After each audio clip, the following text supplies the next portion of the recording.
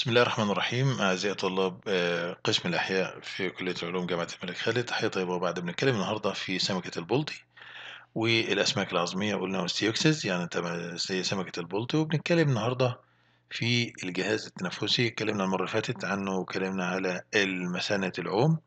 فالنهاردة بنتكلم بنتكلم بقى ونقول الجهاز التنفسي الأسماك العظمية زي سمكة البلطي في أربع أزواج من الإيه؟ الخياشيم. إحنا قلنا قبل كده سبعة أزواج كانوا في ال Petromyzon خمسة في ال dogfish وأربع أزواج في سمكة البلطي آه، موجودين طبعا على الجانبي البلعوم. كالمعتاد إن لازم الأزواج الخيشومية توجد في البلعوم. يفتح الخياشيم عن طريق إيه؟ مع بعضها البعض بحواجز بحواجز خيشومية مختزلة. آه، يتكون الخيشوم الكامل من عارض خيشومي جيل بار يحتوي على قوس خيشومي هيكلي منحني ووعاء دموي خيشومي صادر ووعاء دموي خيشومي وارد. آه، لما نشوف في السلايد اللي جاية دي دي الخياشيم بالشكل ده اللون الاحمر تبقى اسمك طازجة. آه طازجة. آه على الناحية البلعوميه تحمل حواضر خيشوميه صفين من الأسنان الخيشومية. وظيفة إيه الأسنان الخيشومية الموجودة دي؟ منع الغذاء من الدخول إلى الحجرات الخيشومية. تبقى زي الفلتر أو المرشح كده عشان ما يدخلش فيه غير الماء بس في الخياشيم.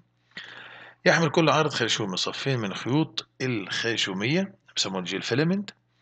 وتحمل هذه الخيوط الخيشومية على سطحها العلوي والسفلي عدد كبير من الصفائح الخيشومية يسموها الجيل لاميلي.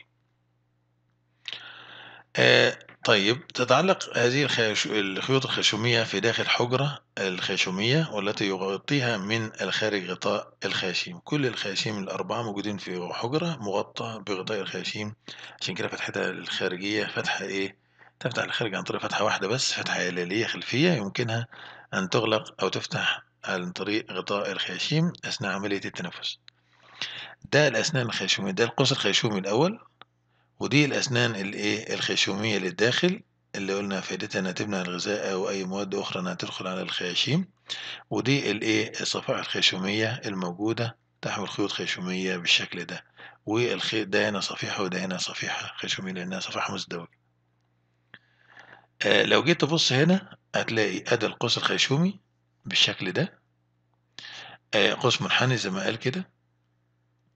القوس المنحني ده بيحمل خيوط خيشومية الخيوط الخيشومية دي مع بعضها بيسموها صفيحة خيشومية يبقى أنا عندي صفيحة الناحية دي وصفيحة الناحية التانية كده يبقى هما صفيحتين بالشكل ده.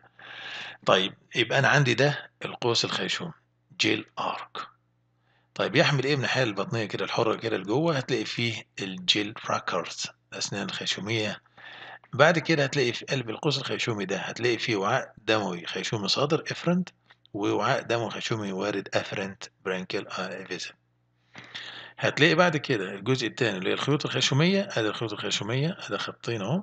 كل واحد فيه يحمل إيه؟ صفائح خيشومية gill lamellae لما يبقى بالشكل ده تعرف إن ده خيشوم كامل. لو يحمل جزء واحد ولا يحمل في الجزء الآخر يبقى ده زي ما قلنا خيشوم نصف خيشوم أو خيشوم ده بيسموه holobranch التاني بيسموه demibranch هي semibranch السلام عليكم ورحمة الله وبركاته.